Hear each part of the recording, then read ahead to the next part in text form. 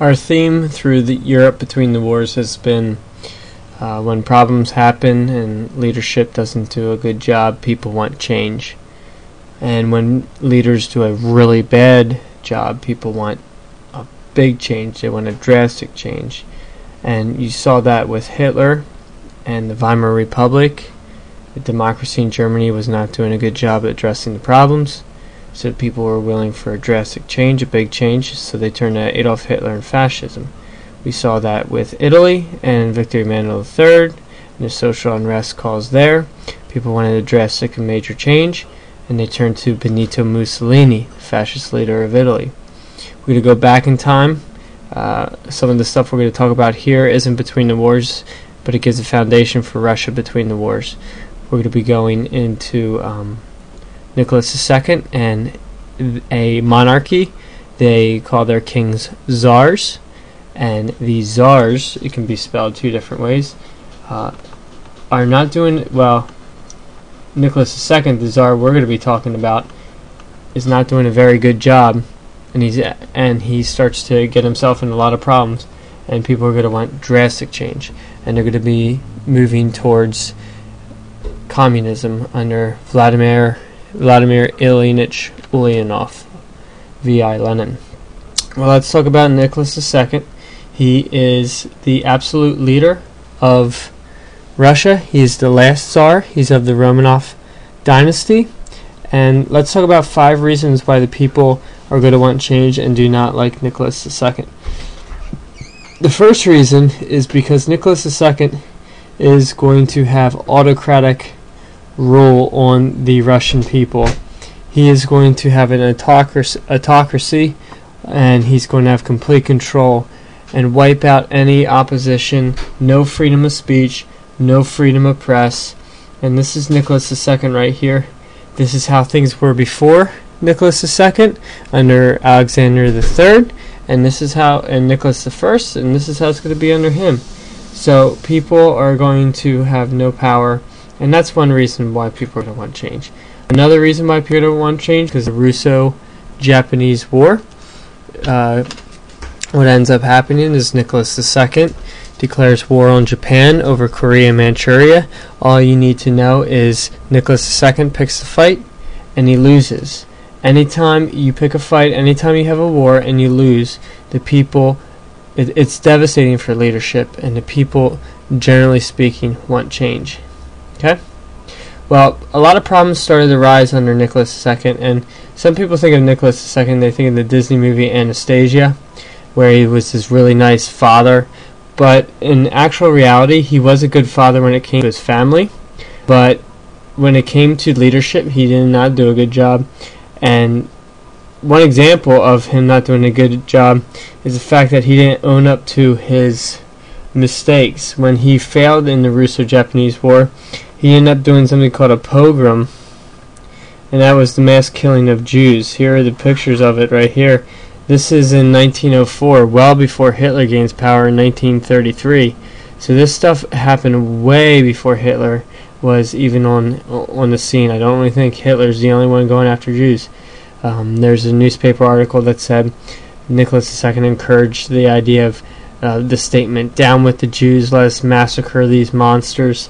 and so people went out and did this on Easter Sunday. So, you know, I don't know how much of a role he played in causing that to happen, but he certainly was anti-Semitic. Um, he's an anti-Semite, and he was against the Jews. So, autocratic rule, Russo-Japanese War. Those are two reasons. Here's a side thing I just wanted to talk about. A third reason is Bloody Sunday. There are two Bloody Sundays. I don't want you to think the one in Ireland this is the one in Russia. Uh, 200,000 people, workers, went to the Tsar's Winter's Palace in St. Petersburg and they asked for better working conditions, personal freedom, and these were an innocent protest. It was just we we want these freedoms, and well, 200,000 people. I don't know how innocent that can be. That's that's pretty intimidating. Nevertheless, it was led by a guy named Father Gapone. You don't need to know that, but it, he was a, I believe he was a priest. So uh, my point is, the the intentions were not to be like the March to Versailles, where we're going to cut off heads and we're going to be at violent. These are people Um, look, that's little Nadia right there. Look, look how small she is. She's not violent, and this guy's like going at her. Okay, so here are the king's guards, and they're shooting down the people. That's Bloody Sunday. That doesn't make, for obvious reasons, Nicholas II look good when he's shooting people that are asking for better working conditions, bread, things like that. So that's the third reason. A fourth reason is a very, very big reason. It's um, World War II. Okay, let me find World War II. I'm sorry, World War One. Here it is, World War One. Um, Russia is the job of Nicholas II because he is an autocratic ruler was to get Russia ready for war. And when war failed, it was Nicholas II's fault. Well, 1914 comes along. Russia get Nicholas II gets Russia into this World War One uh, by mobilizing and trying to protect Serbia. It is an absolute disaster. More Russians are dying than, than in any other country. They are struggling, and people are getting very upset about that war. And the final reason deals with this man. Don't look into his eyes, ladies. His name is Rasputin, okay? Rasputin um, had hypnotic powers. Hypnotic powers. They called him a holy man. And there's a lot of stories with Rasputin. And uh, I'm not going to go, because of time, I'm not going to go into them. If you were in class, you know those stories. And let me give you a quick background. This is Nicholas II and his wife, and they had four daughters and a son. Um, Maria, Olga, I love that name, Tatiana, and Anastasia. Anastasia is what the Disney movie is named after, and there's rumors that she fled and wasn't killed. We'll talk about that if we have time at the end. But here's the main story: Alexei, the heir to the throne. Well, he was a hemophiliac, and he that means if you got if he got a small cut, he could bleed to death because his blood didn't clot. They were on vacation, I believe it was on vacation. He gets in a bad accident, the doctors can't fix it, and he hears about this holy man, so he says, Bring me Rasputin. And Rasputin comes to Alexei and says, Look into my eyes, Alexei. You are healed. And Alexei is healed. Pretty interesting stuff. Lots of historians talk about it. Lots of people um, read into that. I'm not gonna give you any Harry Potter, Potter hokey pokey Smurf stuff on that. I don't, I don't know what to think about that. But Rasputin was able to heal Alexei. This brings Rasputin into the royal family. So when they go to Raystown Lake, uh, Rasputin's invited. Ocean City, New Jersey. Rasputin's invited. He's going to be hanging out with the royal family, and he gets in with the royal family. It doesn't take much, and he is someone that is not a good person to have as being attached to your family. Rasputin would make selfish decisions. Rasputin made decisions that were all about him, key political decisions he made, and he made really bad decisions. Uh, he actually has ended up killed, but Rasputin le- leaves a very bad name with Nicholas II. Uh, the story of his death is really interesting. I suggest you look it up. We talked about it in class if you didn't hear about that. Um, so let me recap quick the reasons. Autocratic rule is why people are starting to get upset with Nicholas II. Bloody Sunday, drug into World War One, loses to Russo-Japanese War, and this guy named Rasputin being part of the family. Rasputin was a ladies' man. Um, see all the ladies all around Rasputin. It was told that no one could resist Rasputin. Okay. So, there you go. Let's move on now to this guy. So people want change. So they're going to look to someone else who's offering a better uh, or a different idea on how to run the government. And this is going to be V.I. Lenin. Now, Lenin has some personal gripe against um, the Tsar because his brother was killed or he was hung when he's 17 years old. but that said, here's Lenin he's going to be a communist or he's going to be a Marxist. He's going to be all about the factory workers rising up and overthrowing the factory owners. He's going to be for the proletariat, the working class, and he believes that they should rule the country. and not some dictator, not some king, no autocratic rule, but he is for the people rising up. And he's going to be called he's going to start the party called the Bolsheviks. And the Bolsheviks they're going to be um, a very radical group, a small number of committed people willing to sacrifice everything for change. Now, V.I. Lenin is going to. I'm going to skip something called the March Revolution. I'm just going to fast forward it to V.I. Lenin challenging the government, and Nicholas II is kind of in there as well. I'm going to go right to the Bolshevik Revolution. So let's talk about this thing called the Bolshevik Revolution. While he's getting more and more people to follow him, he makes three promises peace, bread, and land. The peace he is referring to is World War One get out of the war. A lot of Russians love this because he's saying, look, World War One is a stupid war.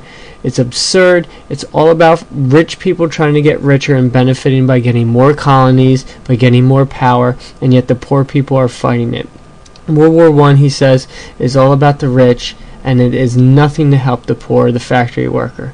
So he's saying, let us end that silly war. You can easily see why he would get support. Another one is land. If you remember, we talked about the French Revolution at the beginning of the year with the first, second, and third estate. And the first and the second estate, they were the wealthy and they controlled pretty much most of the land. And then you had the poor controlling very little. Same exact concept with the Russia with Russia during the Bolshevik Revolution, then with the French Revolution. Lenin saying, look, that first and second estate, this first group, the church, the Russian Orthodox Church, and the nobility, and these people that own land, I'm going to take the land from these rich people, and I'm going to give it to the poor. Okay? I'm going to do that with the factory workers, too. I'm going to give the factory workers better conditions, and, and then let the factory workers, let the Soviets rise up and take over the factories so they can spread the wealth equally. Again, he's all about equality of wealth and um, we'll see how that all pans out. So it's going to be a showdown. In 1917, the Bolshevik Revolution occurs, and Lenin, under the Bolshevik Party, they end up gaining power. So they get power, but right when they get power, they are going to be challenged. So it's not easy streets. They're gonna people are gonna be questioning. Yeah, Lenin, you think you got power? I don't think so. So what ends up happening is something called the Russian Civil War, and that lasts for uh, three years. And while it isn't as long as World War One that lasts for four years, about nine million people died in World War One. A total of 14 million people die in the Russian Civil War. So more people die in the Russian Civil War um, than dur- during the Russian Civil War than during World War One. I. I think that's pretty interesting because it's not a popular civil war. Well, the two sides that I want to talk about are the whites.